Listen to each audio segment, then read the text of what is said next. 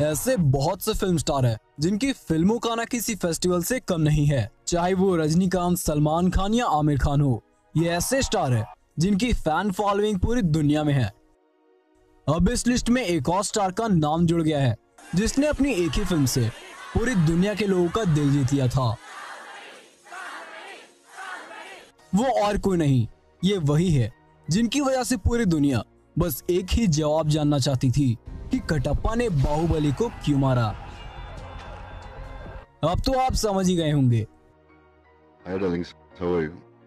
जी हाँ हम बात कर रहे हैं डार्लिंग प्रभास की। प्रभास बाहुबली सीरीज़ के बाद इतने बड़े स्टार बन चुके हैं कि आप उसका अंदाज़ा भी नहीं लगा सकते। और इस वीडियो में हम आपको प्रभास की लाइफ से जुड़ी कुछ ऐसे दिलचस्प फैक्ट्स बताने जा रहे हैं जो शायद ही आप जानते होंगे। तो प्लीज़ इस वीडियो को पूरा ज़रूर देखें। बसंती इन कुत्तों के सामने मत नाचना Vasanti, don't dance in front of these dogs. there you go. Number one Prabhas पूरी दुनिया में प्रभास के नाम से फ़ेमस हैं, पर उनके फैंस उन्हें डार्लिंग प्रभास भी कहकर बुलाते हैं पर ऐसे बहुत कम लोग हैं जिन्हें प्रभास का पूरा नाम पता है प्रभास का पूरा नाम वेंकटेश सत्यनारायण प्रभास राजू उपलपति है नंबर टू सिनेमा इंडस्ट्री में एंट्री के लिए कोई खास एजुकेशन की ज़रूरत नहीं होती है।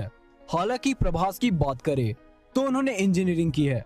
उन्होंने अपनी एजुकेशन भीमवरम के डीएनआर स्कूल और हैदराबाद के श्री चैतन्य जूनियर कॉलेज से कंप्लीट की है। नंबर थ्री शायद आप में से कुछ ही लोग जानते होंगे कि प्रभास फ़ेमस एक्टर कृष्णम राजू के भतीजे हैं, जिन्हें रेबल स्टार भी कहा जाता है। इसके अलावा, हमें उनकी फैमिली बैकग्राउंड के बारे में कुछ भी पता नहीं है, क्योंकि उन्होंने कभी भी अपने परिवार के बारे में कहीं भी बात नहीं की है। वे स्वर्गीय सूर्य नारायण, राजू और शिव कुमारी के सबसे छोटे बेटे हैं। उनके पिता एक फ़िल्म प्रोड्यूसर थे। नंबर फोर उन्हें कई दोस्त मिले, लेकिन कुछ ही उनके सबसे करीबी दोस्त हैं। इंडस्ट्री में उनके सबसे अच्छे दोस्त गोपी चंद और अलू अर्जुन है। और बाहुबली फ़िल्म में काम करने के बाद राणा उनके सबसे अच्छे दोस्त बन गए। Number five Prabhas Telugu cinema industry में टॉप एक्टर्स में से एक है और एक सुपरस्टार होने के नाते उनके पास कोई एटीट्यूड नहीं है। वो अपने को एक्टर्स डायरेक्टर या किसी अन्य व्यक्ति का सम्मान करने के लिए और अपने नेचर लविंग स्वभाव के लिए जाने जाते हैं। उनका एक सच्चा फ़ैन या उनके करीबी व्यक्ति, यह कह सकते हैं कि वह कितने सीधे और हम्बल हैं। नंबर सिक्स वैसे तो प्रभास को बाहुबली के बाद बहुत सारे बॉलीवुड फ़िल्मों के ऑफ़र आ चुके हैं और वे उन्हें रिजेक्ट भी कर चुके हैं। पर उन्होंने अजय देवगन की फ़िल्म एक्शन जैक्सन के एक सॉन्ग पंजाबी मस्त में गेस्ट अपीरियंस दे चुके हैं। बाय द वे प्रभास एक ट्रेन डांसर हैं।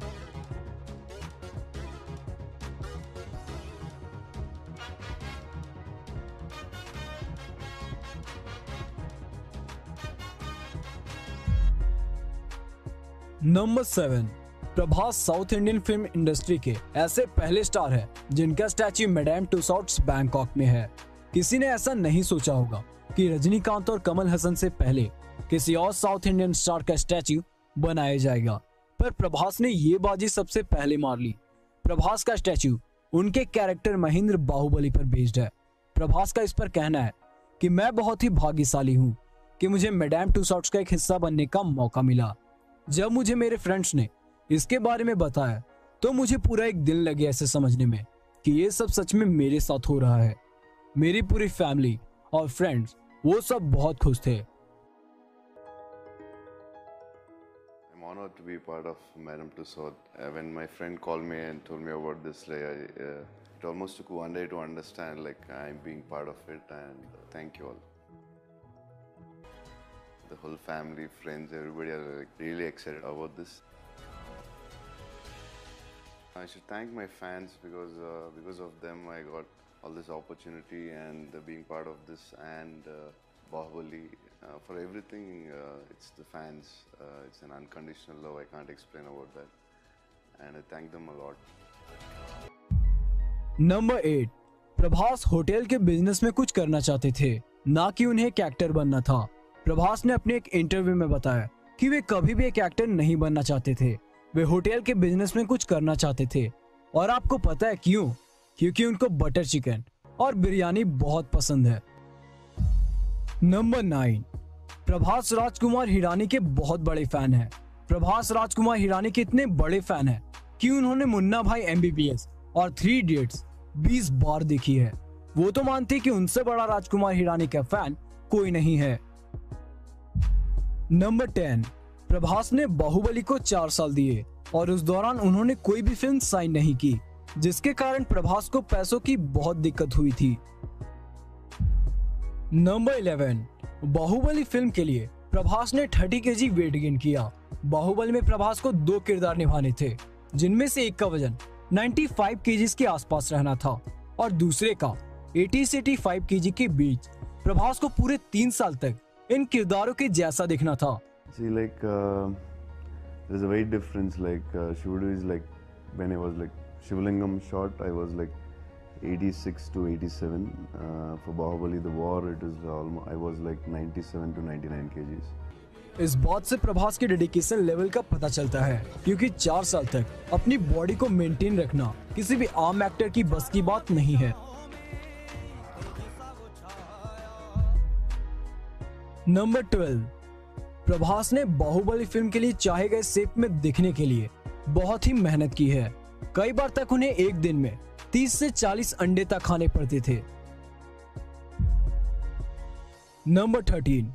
बाहुबली की स्क्रिप्ट सुनने के बाद प्रभास को स्क्रिप्ट पर इतना भरोसा हो गया था कि उन्होंने फ़ी की कोई फ़िक्र नहीं की। सब जानते कि प्रभास ने अपने चार साल बाहुबली सीरीज़ को दिए। प्रभास एक टॉप के स्टार ऑलरेडी थे। उनके पास लगातार तीन हिट फ़िल्म के ऑफ़र आए थे और मेकर्स पैसे लिए उनके सामने खड़े थे। लेकिन उन्होंने ये ऑफ़र ठुकरा दिया और सिर्फ़ अपना ध्यान बाहुबली पर लगाया। प्रभास ने अपने मैनेजर को ऑर्डर दिया कि बाहुबली के मेकर से किसी भी तरह की एक्स्ट्रा फ़ी की डिमांड ना करे।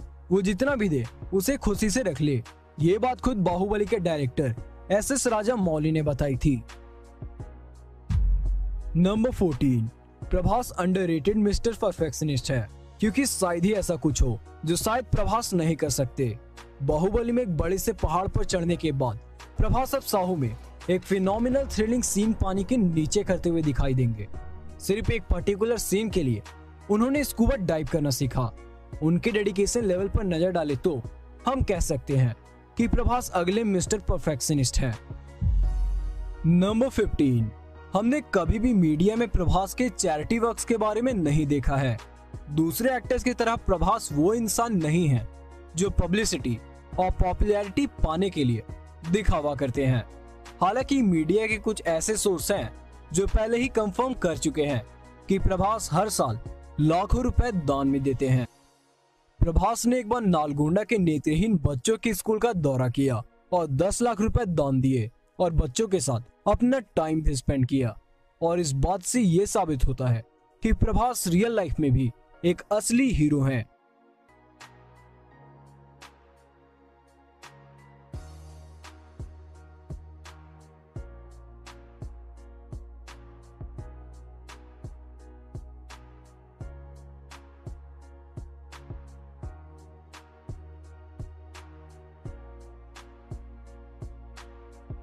Hi, darlings. I just want to say thanks.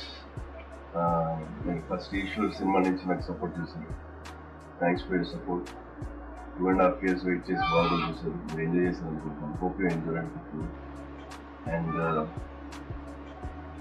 just want say thanks thanks lot thanks for everything పేరు పేరున అందరికీ థ్యాంక్స్ లవ్